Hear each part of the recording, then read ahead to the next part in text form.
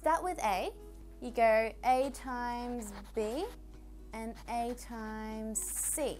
But we also have to do the same thing for D. So we do D times B and we also do D times C.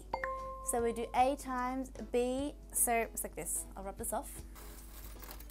So basically you do A times B and C, so there's basically this whole bracket. So I did A times B plus C, and then you do D times B plus C. So see how I did D times B plus C? So now you go ahead and expand it out. So then you do A times B and A times C, and then D times B and D times C, like you always do. So AB, AC plus DB or BD, because I like to keep it in that alphabetical order, and then DC, but CD rather. So A times this whole bracket and 3 times this whole bracket. Okay, so if I separate it, it looks like this. A times that bracket plus 3 times that bracket. Okay, and then you do your normal thing, A times A, A times negative 2.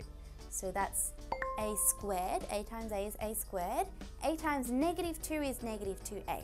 And then 3 times a, 3 times negative 2. So 3a minus 6. Make sure it's a negative 6 because positive negative makes a negative. Okay, so again, be careful with the signs. Now, are there like terms, guys? Can we gather anything up together?